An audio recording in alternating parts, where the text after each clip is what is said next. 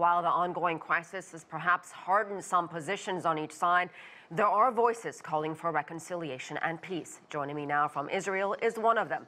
Ayala Shalev, she's an Israeli activist for Combatants for Peace, a group of Israelis and Palestinians who support nonviolence and, and envision a two state solution working side by side for peace and in peace. Ayala, welcome to our program. I'm sure you heard our report from Philip Crowther. Nearly 19,000 people killed in Gaza.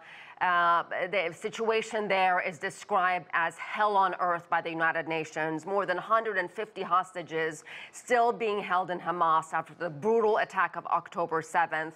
Having seen all this, having heard all the news, do you actually believe peace between the two sides is still possible? Bottom line, yes, it has to. There's no other uh, possibility, you know, at the end. Um, definitely, uh, all this hostility, all this violence that aroused from the attack on October 7th and onwards has set everything back a few years. And um, but looking forward, there's no there's no other way.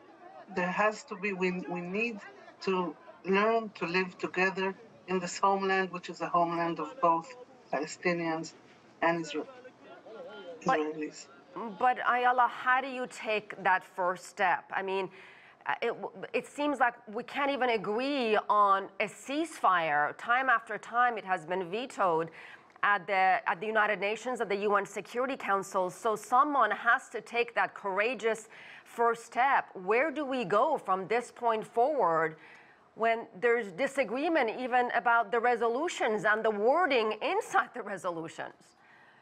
Yes, there's, there's a disagreement even on the facts. I, it, it's there's a gap between uh, the people and the governments unfortunately, the governments make decisions. If you look at the people, you see much more uh, willingness to uh, to I don't know. Peace is a big word, but to come together to get for to to resolve this ongoing terrible conflict that is just going on and on and on. It's like they hit, we hit, they hit, we hit. It has to stop.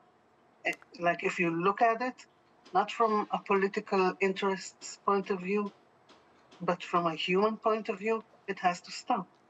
And it can stop. I'm going to read something that uh, you said. You said, For me, change is not quieting the flames or putting everything in order. When I work towards change, I, am, I aim at changing profound concepts and cultivating true humanistic values, uh, such as freedom, equality, and justice. I'm a dreamer. I want to make the world a better place, and I know the way to do that is by educating our youth. Talk about how important, in your mind, education is here. I think that's a, it's it's a long-term uh, solution, but it's a it's a key solution because I know the education system right now doesn't educate for peace.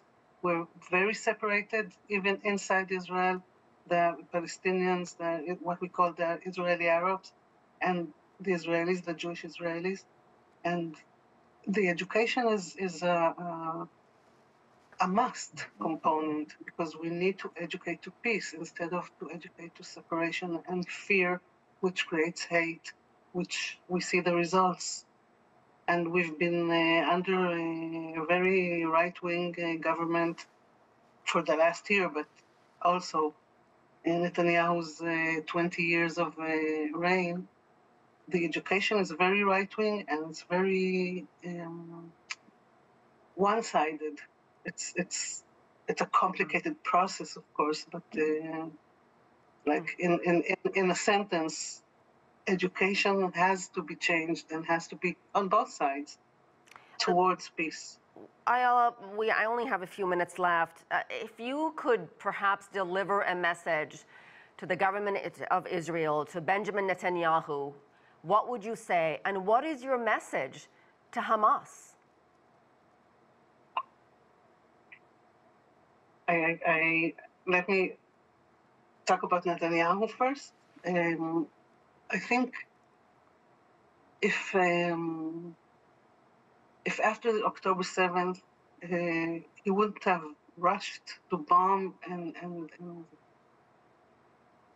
if he'd let you know just a, a, a, a, a bit of time to understand what happened, to uh, to grieve, and maybe waited a week. You know, we have a customary shiva. We we for seven days we mourn our dead in, in the Jewish religion.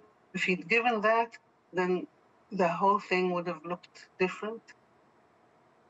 But he's it's not in his interests. He, he's working, you know, he's a politician, he works from interests.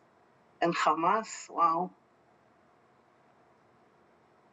What can I say?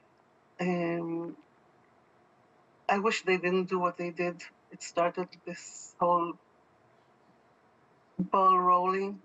Um, Yeah, and, and, and that the problem here is thousands and thousands of civilians, innocent civilians, are the ones who are paying the price here. I so appreciate you joining us, um, Ayala Shalev. Thank you.